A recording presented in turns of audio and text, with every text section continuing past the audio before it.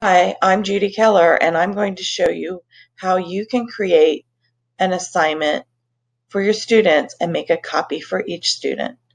So the first thing I'm going to do is I'm going to go up to create an assignment, select assignment, and then I'm going to go to my Google Drive and find the assignment that I would like to share with my students.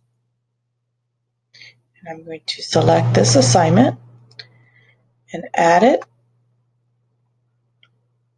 I'm going to give my assignment a title.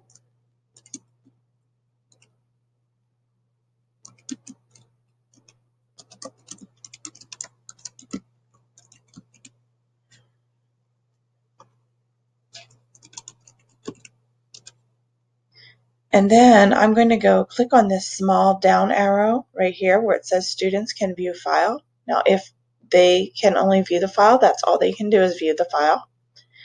Uh, if I select students can edit a file, that means that all your students would edit the exact same file. And the last one is make a copy for each student. So think of that as you going to the copier and making a copy for each student and passing it out to them.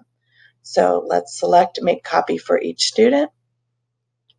We can select our point values, pick a due date,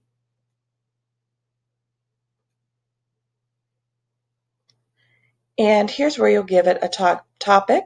So I'm going to go ahead and select reading.